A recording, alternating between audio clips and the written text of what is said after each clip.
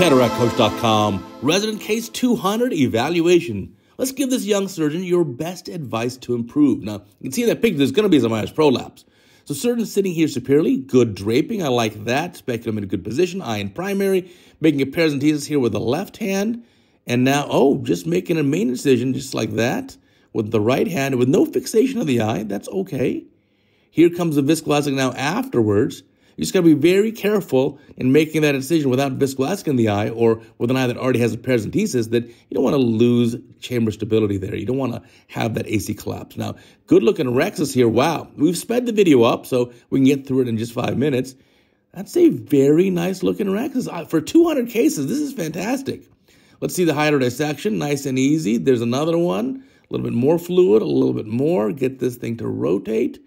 Come on, you say it with me. If it does not spin, you will not win. Where's the spin? Okay, let's find out. Looks like topical anesthesia, a little bit of patient eye movement there. Here comes a phaco probe. And chopper on the other hand, looks like a Nagahara type chopper. And emulsifying some of that lens material. And now, okay, horizontal chop here. No, almost. Not exactly sure why we stopped there or paused. Let's find out together. Maybe there's something wrong with the tip. Maybe it's not aspirating. Maybe the machine gave an error. Let's see. All right, going back with the phaco probe again. And the chopper. Let's see again. And buzzing with the phaco probe. Chopper going around the lens equator. Horizontal chop. Very, for case 200, this is fantastic. This is really fantastic. Keep up the good work. I think you're doing a great job there. And so chopping technique looks great. Good. And there's the spinning. It does rotate. So another chop going in. You've got enough small pieces. Probably could just emulsify the rest of this. Fortunately, it's not too dense of a cataract there. And now again, chopper going around the equator there, emulsifying this up. Yeah, just bring the pieces up. At this point, I don't think you really need to do any more chopping. You can just emulsify these pieces, bring them up. Everything should come up pretty easily. Again, it's not that dense of a cataract. And good incision there. I like how you're floating with the in the probe in the incision. That looks nice. Eye stays in primary throughout the case. You don't have to chase the eye around. That's good. Here comes the last of it. Looks great. I'd like the chopper in the safe position just as the very last pieces come out, just to keep the posterior capsule at bay. Now, a little bit of just gentle aspiration, probably no energy on that piece, just a little aspiration. There we go, getting it done. Oh, iris prolapse. Hey, let me tell you about our Cataract Coach podcast, top podcast on all of ophthalmology. It will make you more successful. If you're a young ophthalmologist and you want to be successful in your career, you got to listen to the podcast. It literally teaches you all of the secrets. An interview every week, just an hour a week, every Sunday, everywhere you find podcast services. Now, Cortex removal is coming out pretty easy. Nicely done. Coaxial movement here. You could also use bimanual, obviously. I tend to use coaxial for most of my routine cases. I think it works very well.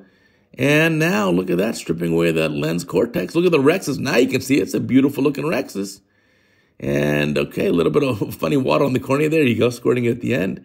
A little bit of iris prolapse there. So this could be, I think the incision looks pretty reasonable. Maybe it's a little short but actually looks pretty good. Maybe the incision's fine, just the patient tissue. Here comes the lens going in at the end of the case. Let's get this delivered nice and easy, taking your time. Eye goes back to primary.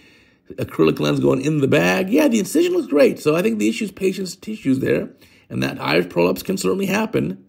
I do like how that main incision has nicked the limbal blood vessels just barely. That's going to help it have great long-term sealing and stability. Getting those haptics opened up. Look at that rhexis for case 200, this is just fantastic. You're doing a beautiful job here. So my advice to you is when you make the main incision, fixate the eye with something. And you can also, if you're going to put viscoelastic anyway, why not after you make the para, put the viscoelastic, keep the AC stable, and then do that. Um, otherwise, gosh, your rhexis was beautiful. Your chop technique was good. You probably didn't need to do as many chops. Oh, iris prolapse again. So again, in a case like this, we've had multiple issues of iris prolapse. You know what I tell you to do? Just put a suture in. You don't need the grief. Imagine post-op day one and you see the iris poking out the incision. Wouldn't you hate it? That's going to be a little pathway for having infection going inside the eye. You don't want that. So again, I'd use the paracentesis right now. Sweep the iris back there via the para. Don't just push them. No, no, no. Don't push with the main incision. Okay, that's a little. You can put a yeah, you, a little pinch of viscoelastic was placed there. You can do that too. I'd rather not have that viscoelastic in the eye, especially now. It's just floating around everywhere. You can try to flush it out through the para. But in a case like this, I think the better part of judgment for a young surgeon, you've only done 200 cases. Do you want to see the iris prolapse tomorrow at the slit lamp on post-op day one? No, of course not. I would go ahead and put in the suture. Anyway, great case. Thank you for watching. Remember, check out that podcast, top podcast in all of ophthalmology.